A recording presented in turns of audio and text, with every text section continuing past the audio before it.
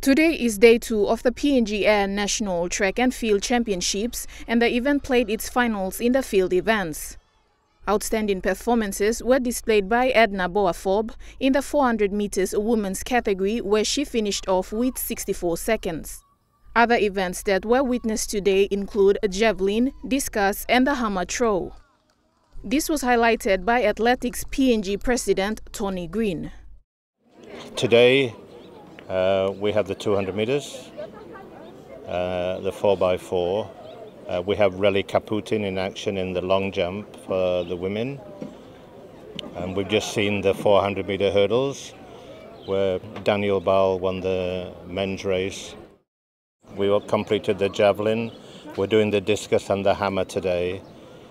Um, some uh, very good performance yesterday uh, by um, Edna Boafob in the 400 meters and by the boys, a very strong.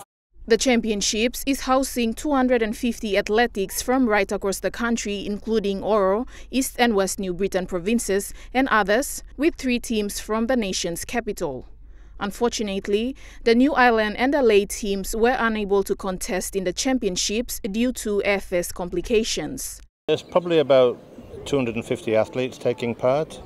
We were expecting around 300, uh, but unfortunately the Lae team didn't make it.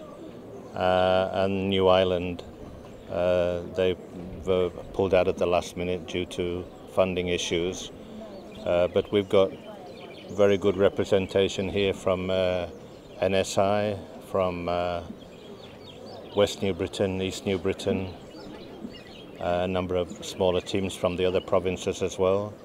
And of course, there are three, three teams from uh, NCDs. The Athletics PNG committee are currently interested in the performances of individual athletes in preparations for the upcoming PNG National Championships and the Pacific Olympic Games scheduled for next year in Honiara, Solomon Islands. The committee will also scout three emerging young athletes from any of the participating teams for the upcoming Under-16 Championships, which will be staged in Trinidad and Tobago next year. Meanwhile, as the Pacific Games is still a year away, the PNG Athletics Committee will stage the final Team PNG later next year after the PNG National Championships and the Oceania Cup. Lisa Puni, Chukai Sports.